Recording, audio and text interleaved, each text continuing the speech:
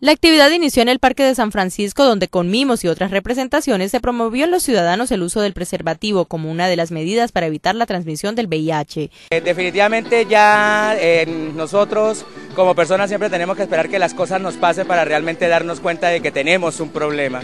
Y a nivel mundial el VIH ya es, es una enfermedad que no hay que, darle la espalda, sin, sin, llegar al estigma y a la discriminación que todo el, que todo el mundo le tiene. ¿no? Entonces estamos haciendo todo lo posible para que la gente vea que de todos modos el VIH es una enfermedad que tú puedes tenerla, puedes convivir con ella y no necesariamente te mata, ni mucho menos te tiene que aislar de la gente, ni mucho menos a discriminarte hacia la gente.